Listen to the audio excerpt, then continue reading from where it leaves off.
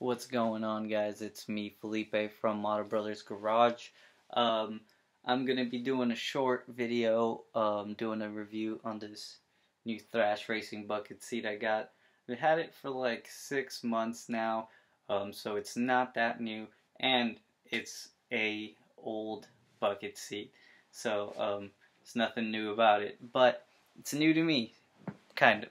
Uh, but uh, I've always wanted one. So if you're not familiar with thrash racing, um, it was very big during D1GP, um, D1GP's glory days. A lot of D1 drivers had thrash racing seats. Uh, Mitsuru Haraguchi, one of my favorite drivers uh, of all times, ran thrash racing. Um, I'm not sure if he was sponsored by them, but I know that he ran the seats, and I know that he had Thrash Racing vinyl on his RX-7, the um, his famous yellow RX-7. So um, yeah, ever since I saw it in his car, and I saw like pictures of the seats and how they were like all these different colors. They have all these different designs. They had like pink seats, zebra pattern, like cheetah pattern seats, all kinds of crazy stuff. Um, even though that's not really my style, I think it's pretty awesome that they made seats like that. And um, this one's just like a plain blue one, but it's awesome. It fits great. Um, it's actually really snug. So if you look down, like right here, like you can see how snug it fits. Um, it's pretty snug. Um, it's pretty comfortable. So I weigh 125 and I'm about like 5'5". So uh, I'm probably I think I'm guessing I'm probably like the typical uh, Japanese person's size, um, pretty small and skinny. Uh, but you know, I really really enjoy it um, so far. I mean, I haven't really used it in the car, but I mean, just sitting on it, it's it feels pretty good.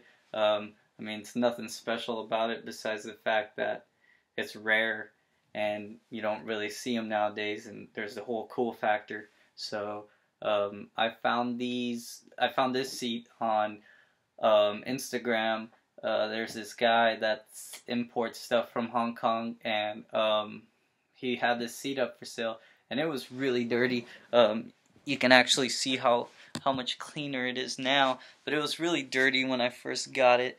Um, right here is actually um, so I figured I was thinking about it, and I was like, oh, this is probably where the harness was. So I'm guessing the seat was sitting um, under the sun for a long time and it got that uh, and it had the harness on it and it got those marks from that. Um, it's pretty faded but it doesn't really have any rips on it so I'm pretty happy about that. Um, pretty awesome looking seat. Um, I'm gonna put it uh, inside my 240SX so if you go uh, to um, Mata Brothers Garage uh, YouTube channel, you can actually see the 240 that um, Tim and Gabe were putting the Type X wing on it. Well, I actually bought that from Tim, and um, I am now using it as a track car. So I'm going to be putting this bucket seat on it. Uh, I already did an event with that car uh, last week, last weekend, uh, last Sunday. We did it. I did my first event with that car, and it was awesome. It drove great. So I primered it it, it is green in that video. Now it's primer. Uh, I also painted the wheels uh, bronze. So I'm going to be putting more stuff on it. Um, and I'm going to be making more videos. So I hope everyone can check back up on my videos and enjoy them. So uh, check back up and check out my other videos. Thanks guys.